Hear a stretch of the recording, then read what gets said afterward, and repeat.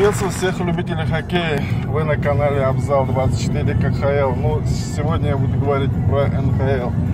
А, сегодня Тампа Бэй Латинск выиграл Dallas Stars а, со счетом 4-5 в овертайме.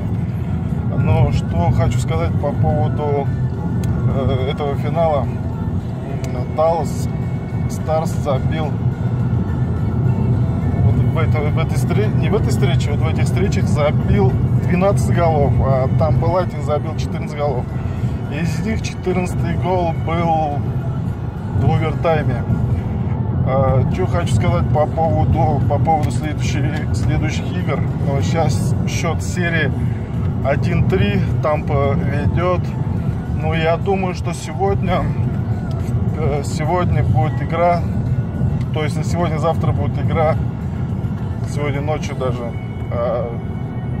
Я думаю, что Dallas Stars игру эту возьмет, потому что тоже играет хорошо. Там стоит Антон Худобин на воротах. За Тампу Василевский стоит, бывший Салаватовский вратарь.